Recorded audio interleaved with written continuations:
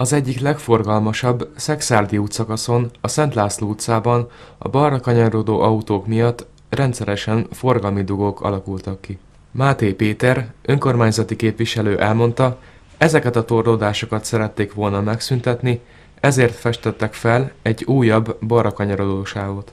Hozzátette, a jelzőtábla is hamarosan elkészül.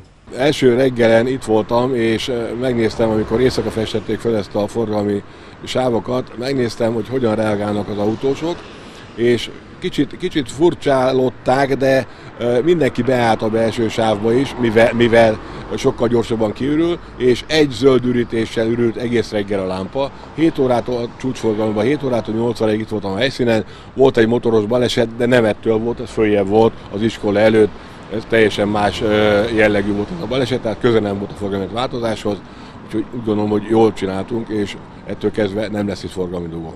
Az átalakítás pár százezer forintba került. A képviselő elmondása szerint Szexárdon még több olyan rész van, ahol kialakulnak torlódások, de ezeknél a szakaszoknál a problémákra nincs egyszerű megoldás.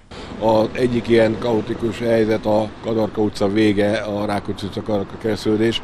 Ott többféle ötletelés volt már, körforgalom, forgalmirányító lámpa, nem tudom melyik a jó megoldás, tehát ez, ez, ez nem, nem ilyen egyszerű, mint ez.